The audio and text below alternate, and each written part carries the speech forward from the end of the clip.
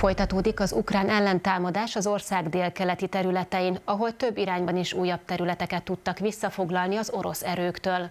Orosz bloggerek eközben kritizálják az orosz katonai vezetést, amiért indokolatlanul sok katonát állomásoztatnak az ukrán tűzvonalban. Egy meg nem erősített forrás szerint egy ukrán rakéta támadás száz orosz katonával végzett egy támadás során. Drámai felvételeket tett közé az ukrán hadsereg a nemrég visszafoglalt Donetszki Sztorozseva falu felé vezető útról, amelyen mostanra már csak az orosz katonák holtestei és kiégett katonai járművek maradtak. Sztorozseva egyike azoknak a kis falvaknak, amelyet az elmúlt napok ukrán ellentámadásai során visszafoglaltak a délkeleti régióban.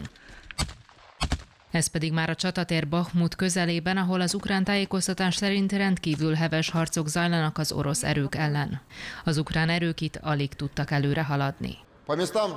Az orosz védelmi minisztérium szóvivője visszavert támadásokról számolt be.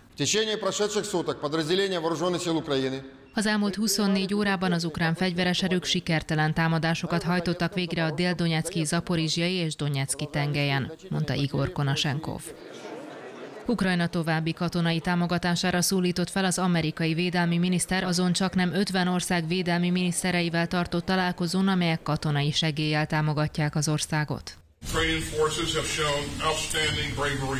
Az ukrán erők kiváló bátorságról és képességekről tettek tanúságot, de ez a harc egy maraton és nem sprint. Mi hosszú távon készen állunk megadni Ukrajnának mindent, amire szüksége van. A múlt héten az Egyesült Államok újabb két milliárd dolláros csomagot jelentett be Ukrajnának, mondta Lloyd Austin, aki arra szólította fel a partnerországokat, hogy ők is nyúljanak mélyen a zsebükbe. Eközben egy orosz bíróság megkezdte az Azov ezredhez tartozó ukrán katonák kihallgatását. Több mint 20 állnak bíróság előtt, akiket terrorcselekménnyel és terrorszervezethez való tartozással vádolnak.